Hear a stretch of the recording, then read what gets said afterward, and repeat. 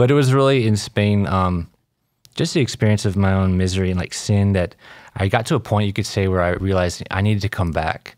You know, I need to start.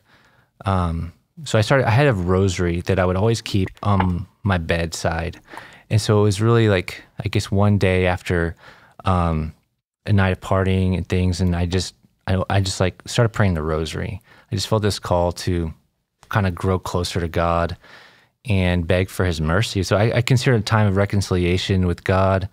Um, it was f- 2000, February of the year 2000. Did any event trigger this, or did it just happen? Um, sin, you know. So uh, basically, and then I needed to, yeah. So I go go to confession, and um, I remember just the telling the priest that I wanted for some reason, like I had gone to confession a few times, a couple times, and then the second time that um, I asked the priest, I told the priest I was going to go to Fatima to visit, which was um, you know, I don't know how I, I remembered Fatima, maybe because of the statue that visited my family, but I knew that I just, there was a, something over there in Portugal. Which is, so I took, I ended up, and the priest was like, you don't need to go to Fatima. And I was like, well, I want to go. So Maybe something in your CCD class stuck with you somehow, yeah, and you don't you remember. never know. Yeah, they planted a seed there. Yeah. I end up going to all these holy sites, the Jubilee year, and uh, going to Fatima, getting off the bus. Everybody else gets off at Lisbon, and I, I'm the only one getting off at Fatima. And the, the doors open, it's just black on one side, it's like nighttime, and it's just, it's like an empty field. And then there's just like a little residencia hostel. So I go and eat there. I ask, you know, where's where's the place to go in, in, in Spanish, and they're speaking Portuguese, and they, they tell me where to go, and I I walk through these cobblestone streets to the this and then this huge plaza opens up, and this chapel, you know, of glass and the light, and you see Mary's image there, and then these candles. I end up going lighting a candle for my family, each of the members of my family, going in front of Our Lady and praying. Uh, it was, and I went to bed that night in this like cool little residence hostel that was like all wood. And I remember how clean it felt. And I was like, this is like church. It feels like church. Like Wow. And I remember I was like, this is what I need. Like there was this desire for order in my life. Uh huh. Um, I was, I was heavier than I am now. I was, you know, beer belly, um, just kind of a slob, you could say. Uh -huh. Not ordered. My life was not ordered, and so You weren't living a very healthy lifestyle. no, Mm-hmm. no.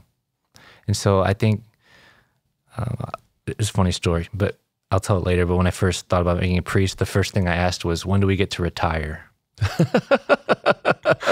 so that which which yeah Well, the retirement benefits are very nice for Yeah, priests, you know, right. uh, right but that in the next life.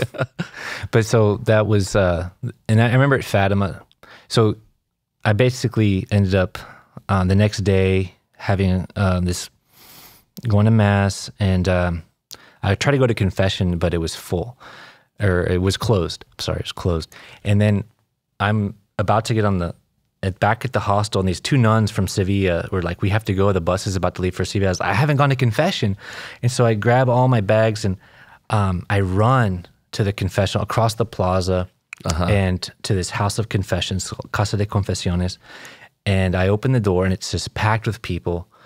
And I'm there huffing and puffing because I just run so far to get to the confession. And, it's, and all these people are in line. And then there's this nun in the very front and she she points to me and she tells she calls me and puts me in front of everyone oh, wow. and she tells the people maybe she told them i was already there before i don't remember her but i, I get into the confessional right away and there's this beautiful like english uh, beautiful british english you know confessor they're like um, speak me you know to me son like and then i, I go to confession and, and the priest um, says you know have courage and don't condemn yourself these two things that i needed to hear and um, Wow. that's what I realized I was missing was courage because I was always trying to be popular, always um, trying to, you know, not really embracing my my faith, always kind of just doing what fits in, you know. Uh huh. What's and then yeah. yeah, and then don't condemn myself. And then I just realized, wow, how merciful God is. Like He forgives me.